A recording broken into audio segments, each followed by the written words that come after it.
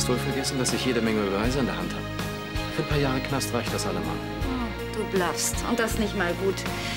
Alle Beweise sind längst vernichtet. Sie wissen gar nicht, wie viele Menschen Sie damit ähm, schlicht und ergreifend das Leben retten. Es reicht aber langsam. Ich weiß ja gar nicht, wo ich hingucken soll. Zum Glück konnte ich fast ungestört mental in Nicks Unterbewusstsein vordringen. Eine starke Persönlichkeit. Das heißt, Sie können meinen Enkel heilen. Schnauze!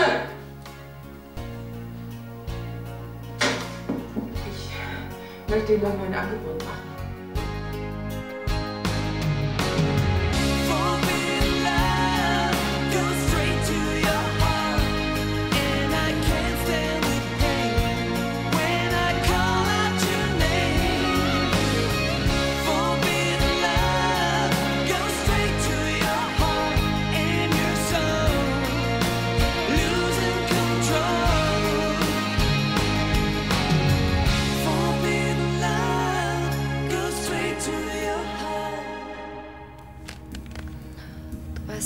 Bedeutet? Ich muss an das Original ran, egal wie, und du wirst mir dabei helfen. Du hast Clarissa entführt. Ja Gott, ist das vielleicht ein Problem für dich? Es ist ein Verbrechen. Und wie nennst du das, was sie mir all die Jahre angetan hat? Clarissa hat mir das Leben zur Hölle gemacht. Zweimal hat sie mir den Mann genommen. Sie hat den Mann weggeschnappt. Ja, Nicht weggeschnappt. Ermordet hat sie sie. Dann müsste sie doch im Gefängnis sitzen. Ja, mehr oder weniger. Sie ist so ein gemeines Biest, dass selbst unser Butler sie damals vergiften wollte. Nur leider hat nicht sie, sondern mein armer Mann Ben die Pralinen gegessen. Also ist sie unschuldig. Ja, vor dem Gesetz vielleicht. Sie hat versucht, mich als seine Mörderin hinzustellen. Dabei wusste sie ganz genau, wie sehr ich Ben geliebt habe. Ich hätte mein Leben für ihn gegeben. Und das zweite Mal? Naja, als ich Bens Tod verkraftet hatte, da verliebte ich mich in Rajan, Rajan? Bens unehelicher Sohn. Dein Stiefsohn also. Das war natürlich ein wunderbar gefundenes Fressen für Clarissa. Sie hat ihre Gemeinheiten so schlimm getrieben, dass, dass uns nichts anderes übrig blieb, als ins Ausland zu gehen. Dort haben wir geheiratet. Und da ist es dann auch passiert. Rajan hatte einen tödlichen Unfall. Clarissa hat mir all die Menschen genommen, die mir je was bedeutet haben. Was habe ich gemacht? Ich habe ihr ein bisschen Geld abgeknüpft. Dabei hätte ich sie auch umbringen können. Aber ich habe ihr nicht ein Haar gekrümmt. Diese noble Geste wird dir vor Gericht wenig nutzen. Ja, ich weiß. Und deswegen bitte ich dich. Carsten, ich flehe dich an. Du musst mir helfen, diese Geschichte zu beenden.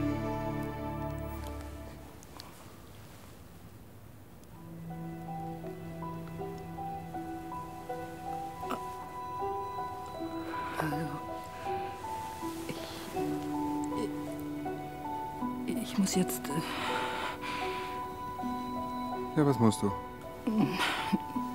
nach den Arbeiten sehen. Nach den Aufräumungsarbeiten im Schloss. Das ist doch jetzt nicht wichtig. Doch, das ist sogar sehr wichtig. Wenn wir noch fertig werden wollen.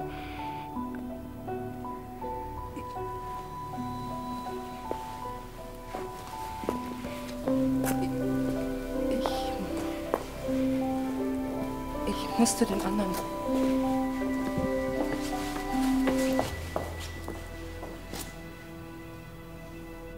Clarissas Taten ließen sich noch endlos fortsetzen. Verstehst du jetzt, warum ich sie entführen ließ? So langsam. Ich musste irgendwas tun. Oder hätte ich sie ungestraft davonkommen lassen sollen? Trotzdem gibt es dir noch lange nicht das Recht, einen Menschen zu kidnappen. Wieso hast du sie nicht geschäftlich fertig gemacht? Das dauerte mir zu lange. Carsten, wenn du mir hilfst, diese Sache zu beenden, dann kannst du dich danach für immer zur Ruhe setzen. Klingt verlockend. Dann hilfst du mir, das Band zu finden? Ja. Aber nur solange ich dabei nichts machen muss, was ich mir gegenüber nicht verantworten kann. Ja, keine Angst. Ich werde schon nichts von dir verlangen, was dich in Schwierigkeiten bringt. Ich gehe schon. Bei von Anstetten? Äh, tut mir leid, Frau von Anstetten ist im Moment leider nicht zu Hause. Kein Problem. Es ging nur um ein kleines Geschenk. Kann ich Frau von Anstetten vielleicht etwas ausrichten? Sagen Sie ihr doch einfach, sie soll sich innerhalb der nächsten 24 Stunden überlegen, ob sie vielleicht auch das Original des netten Familienfilms haben möchte. Gegen eine kleine Gebühr, versteht sich.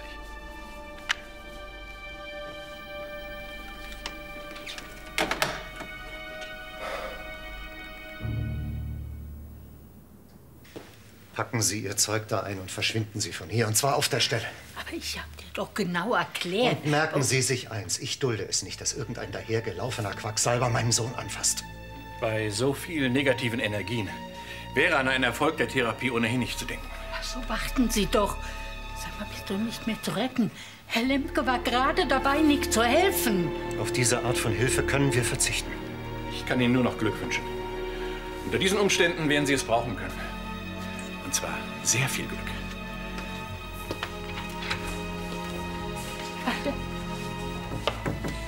Du willst immer nur deinen Kopf durchsetzen. Oh Gott, wie konnte ich nur so blöd sein? Ich hätte doch von Anfang an merken müssen, was dieser Typ vorhat. Und wenn du auf seine Forderungen eingehst, vielleicht gibt er dann Ruhe. Ach Quatsch, niemals. Bist du sicher? Leonard hat nicht das erste Mal versucht, mich zu erpressen. Und das allein ist ja wohl Beweis genug, dass er es immer wieder tun wird. Da hast du recht. Aber wenn er glaubt, ich würde mir das gefallen lassen, hat er sich verdammt geschnitten. Was hast du vor? Ich werde dafür sorgen, dass er kriegt, was er verdient. Du meinst, du willst ihn umbringen? Erstmal werde ich diese Kopie beseitigen und dann. Das kannst du nicht machen. Ich habe Leute, die das für mich erledigen.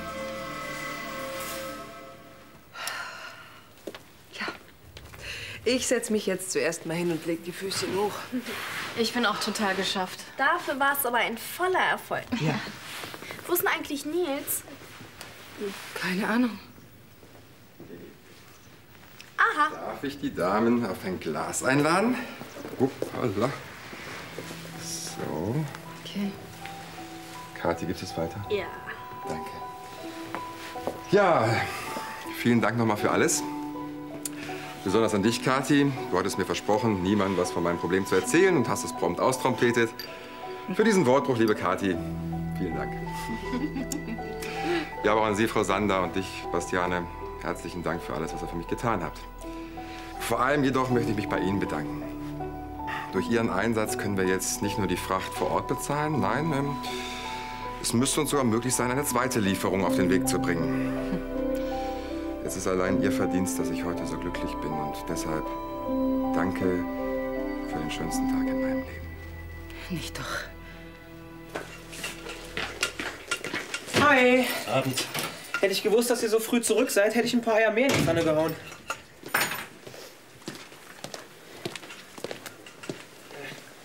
Ihr könnt natürlich gerne bei mir mitessen. Danke, der Appetit ist mir vergangen. Kann mir mal jemand sagen, was los ist? Musst du deinen Vater fragen. Wieso mich? Du hast doch diesen zwielichtigen Wunderheiler in Nicks Zimmer gelassen. Neulich war ein Herr Lemke hier. Er hat gesagt, er verfüge über besondere Fähigkeiten und könnte Nick vielleicht helfen. Er kann uns dabei helfen, ihm unser Geld in den Rachen zu werfen. Unsinn. Er hat alles über Nick gewusst. Und das konnte er nur durch besondere Kräfte in Erfahrung gebracht haben. Was hat er über Nick gewusst? Ach, alles, was ihm genau fehlt und warum es ihm schlecht geht eben. Das kann er doch nicht durch die Zeitung oder durch das Fernsehen erfahren haben. Also entweder ist der Typ ein verdammt guter Betrüger. Oder es stimmt, was er sagt. Und er verfügt wirklich über besondere Fähigkeiten. Er hat gesagt, er könne Nick in fünf oder sechs Sitzungen heilen. Aber deinem Vater ist es ja anscheinend egal, ob es Nick gut geht oder nicht. Mensch, Papa. Ein Versuch ist es doch wert. Es tut Nick doch nicht weh. Jetzt stell dir mal vor, es hilft wirklich. Wenn du auch meinst. Dann ruf ihn halt noch mal an. Ja. Tja, wenn Herr Lemke nicht die Nase voll hat von uns.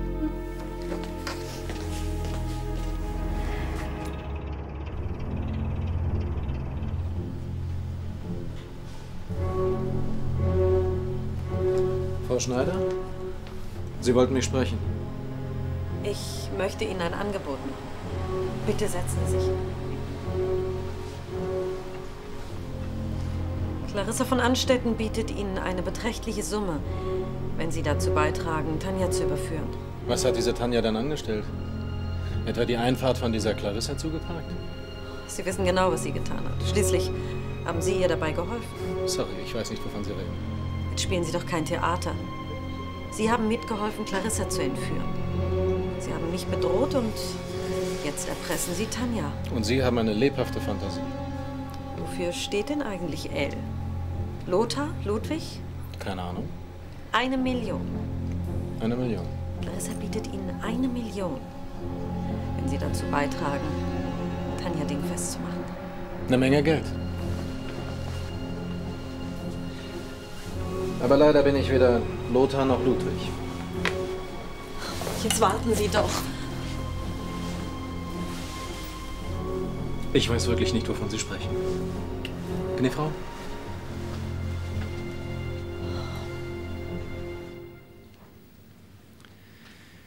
Das geht jetzt schon seit einer Viertelstunde so und passiert ist nichts. Du wartest doch erst ab.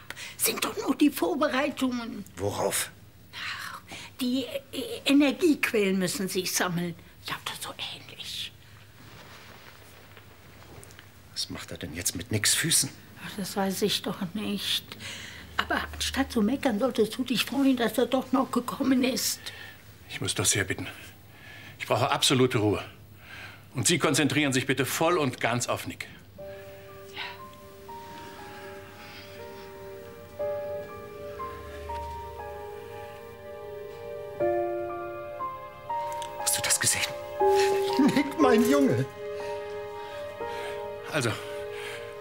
Das nicht. Unter diesen Umständen muss ich die Behandlung abbrechen. Bitte entschuldigen Sie, ich bin ganz still. Machen Sie weiter, ja? Tut mir leid, aber die Verbindung zu Ihrem Jungen ist unterbrochen. Dann nehmen Sie sie wieder auf. Sie haben die Energiefelder zerstört. Ich kann die nicht wieder so einfach aufbauen. Morgen? Wird es morgen wieder gehen? Falls Sie sich ernsthaft zu einer Therapie entschließen, geben Sie mir Bescheid. Gegen Zahlung des branchenüblichen Vorschusses könnten wir dann unter Umständen die Behandlung fortsetzen. Natürlich, sicherlich. Wie viel wäre das denn?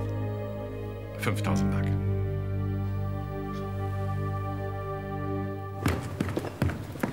Bastiane, Pulle Sekt. Äh, Ich muss doch noch zur Schule. Ja, nur ein winziges Schlockchen zum Klingeln lassen. Hm? Also gut, aber nur wenn du mir sagst, worauf wir anstoßen. Ja, auf einen ganz besonderen Tag. Ne?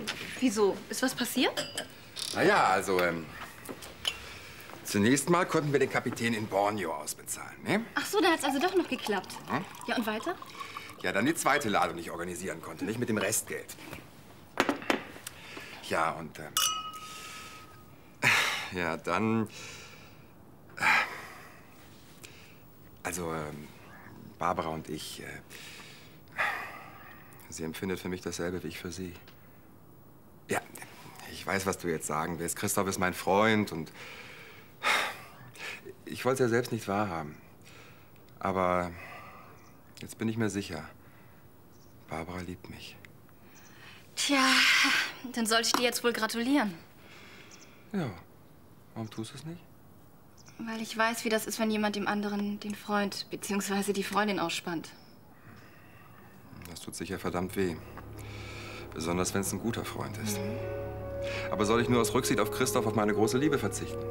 Das musst du wissen. Wenn dir was an seiner Freundschaft liegt, dann ja. Ja, aber ich liebe Barbara. Ja, und Christoph liebt sie. Er vertraut dir. Ja, hast ja recht. Ich bin ein Schwein. Das habe ich doch überhaupt nicht gesagt. Und dass du dir Gedanken darüber machst, beweist doch das Gegenteil. Ja, trotzdem ist es mies. Angenommen, ich verzichte auf Barbara. Soll sie mit Christoph unglücklich werden, bloß weil ich ihm nicht wehtun will? Ich kann dir auch nur sagen, was ich erlebt habe.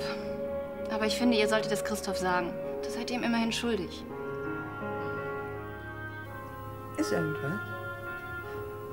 Nein, nein, ich habe nur schlecht geschlafen. Wegen dem Trubel gestern. Du siehst aber überhaupt nicht müde aus. Ich muss dir was sagen. Du darfst aber mit niemandem drüber reden, ja? Ernsa, Nils hat mich geküsst. nicht schon wieder. Diesmal was ganz anderes. Er hat mich geküsst und ich hab's zugelassen. Das war sehr schön. Ja, und jetzt? Ich meine, ähm, willst du mit Nein. mir- Ich bin mit Christoph verlobt. Der Kuss ändert nichts daran. Weiß Nils das? Nein. Aber ich werde es ihm sagen, noch bevor er nach Rotterdam fährt. 5000 Mark ist eine Menge Geld. Ja, aber nicht so viel, dass man es nicht auftreiben kann. Ja, das schon, aber bis zum Nachmittag und die zweite Hälfte der Summe, die wird ja demnächst auch fällig. Und wenn du Clarissa fragst? Auf gar keinen Fall. Ich werde Clarissa nicht noch mal um Geld bitten. Schon gar nicht, wo sie selbst fast pleite ist. Ihr seid schon da? Gerade eben gekommen. Und? Wie war's bei Nick? Stellt euch vor, Nick hat sich bewegt. Hast du das gehört? Jetzt erzähl schon. Was hat der Typ gesagt? Kann er Nick wieder aufwecken? Naja, es sieht vielleicht ganz gut aus. Er ist sicher, dass er Nick helfen kann. Ja, aber dieser Typ will bis um 15 Uhr 5000 Mark Vorschuss haben. Sonst ist die Behandlung gelaufen. Wo willst du denn so schnell 5 Mille auftreiben? Ich könnte Mama fragen. Nichts da. Uli, gib mir mal bitte die Raviolis von oben. Komm. Die? Ja, die. Na komm schon. So. Das ist mein Versteck. Und das ist zwar nicht die ganze Lösung unseres Problems, aber doch ein großer Teil. 4000 Mark? Ja, das ist meine stille Reserve für Notfälle. Und das hier ist ja wohl ein Notfall, nicht? Hi. Hallo. Ja, die Farbe solltest du öfter tragen. Steht dir gut. danke. Sehr gut sogar. Ich muss jetzt. Äh, ich möchte dich nachher noch sprechen, ja? Ja, ich dich auch, aber leider ist unsere Begrüßung gleichzeitig unser Abschied, ne? Ach ja, du fährst nach Rotterdam.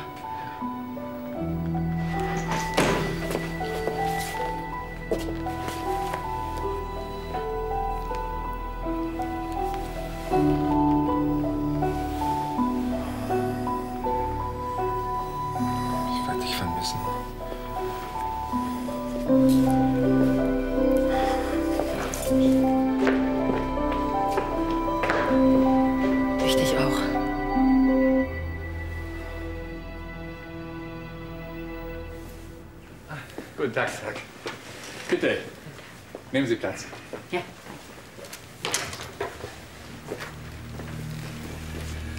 Und, haben Sie es sich überlegt? Ja, also wir haben das alles noch mal besprochen und äh, sind uns einig. Heißt das, Sie haben sich nun doch für meine Therapie entschieden? Es gibt da allerdings noch ein kleines Problem. Ähm, das wäre? Ja, um es kurz zu machen, wir haben nur 4.850 Mark zusammenbekommen. Also nicht 5000 wie vereinbart.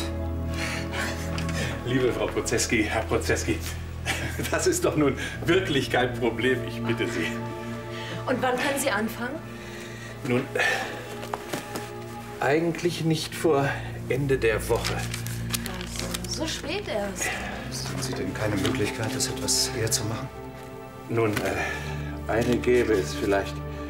Tja, morgen Nachmittag. Ich könnte einen anderen Termin verschieben. Das wäre großartig. Danke. Ich fasse es einfach nicht. Der Typ hat mich stehen lassen. Deine Überzeugungskraft bei Männern war auch schon mal besser. Sehr witzig. Oh, reg dich doch nicht auf. Versetz dich doch mal in seine Lage. Ach, ich soll denken wie ein Gangster. Ja, er kennt dich doch überhaupt nicht. Wenn er Tanja verrät, dann hängt er selbst mit drin. Wer sagt ihm, dass du nicht doch zur Polizei gehst, um dich an ihn zu rächen? Ich habe es ihm zugesagt. Charlie, würdest du dir trauen? Ja. Nein. Ach, ich weiß nicht. Auf jeden Fall würde ich bei einer Million schwach werden. Da ist was dran. Er muss einen guten Grund haben, warum er so schnell auf das Geld verzichtet. Vielleicht bekommt er von Tanja mehr. Offenbar hat er gute Beweise, mit denen er Tanja ausnehmen kann. Hm, nur welche?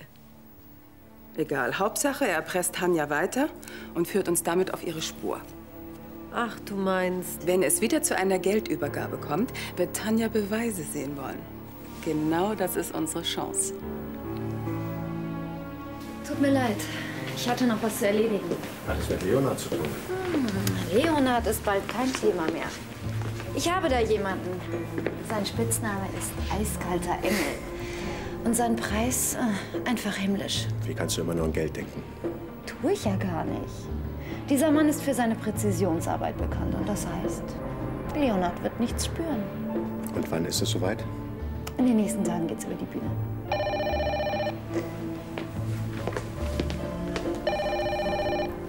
Von Anstetten. Ja, ich habe das Tape bekommen. Eine Menge Geld. Mir wird wohl nichts anderes übrig bleiben. Aber eins müssen Sie zugeben. Der Typ hat eine seltsame Mischung an Klamotten in seinem Büro, oder? Mir ist egal, wie Lemkes Büro aussieht. Hauptsache, er kann Nick helfen. Wieso? Wie sieht sein Büro denn aus? Ach, ich weiß nicht. Überall steht so asiatisch, esoterisches Zeug rum. Keine Ahnung. Hallo, Nick. Hallo, mein Junge. Vielleicht kannst du schon bald wieder laufen. Und in ein paar Wochen sogar trainieren. Also erstmal fahren wir gemeinsam in Urlaub. Schließlich muss sich Nick erholen. Genau, er muss mal richtig ausschlafen. Ja, nun lass ihm doch Zeit, wieder mal zu Kräften zu kommen. Und dann geht's erstmal richtig auf die Piste, bevor es wieder ans Kicken geht. Ja, wenn Sie noch mehr wären, dann müssten wir ja direkt anbauen. Ach, wir sind es gewohnt, zusammenzurücken. Hauptsache, Nick wird wieder gesund. Ich weiß, es ist nicht leicht für Sie, über Wochen immer wieder nur zu hören, dass sein Zustand unverändert ist. Ach, wissen Sie, heute stört uns das überhaupt nicht. Sie haben hier im Krankenhaus keine Lösung für Nicks Probleme finden können. Also haben wir uns selbst drum gekümmert.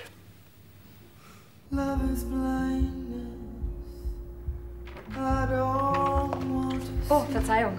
Der ist für Sie abgegeben worden. Christoph.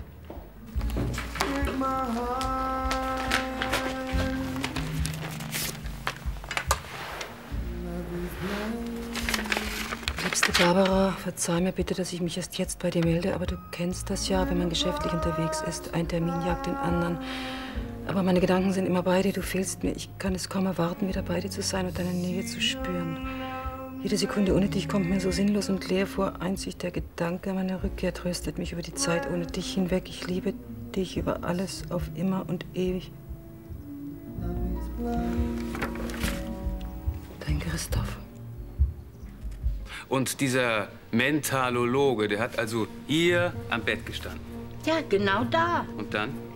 Dann hat er die Augen geschlossen und sich konzentriert. Bis Nick sich bewegt hat.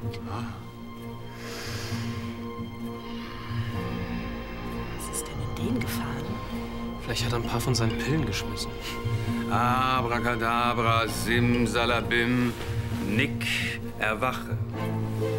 Haben Sie auch magische Kräfte? Nein, brauche ich auch nicht. Mir genügt diese kleine Nadel hier. Sehen Sie? Ein einfacher Muskelreflex verursacht durch eine mechanische Reizung der Nervenenden im Fuß. Aber Lemke hat dieses Zucken als Beweis dafür angeführt, dass er Nick helfen könnte. Der Lemke ist ein Betrüger, nichts weiter.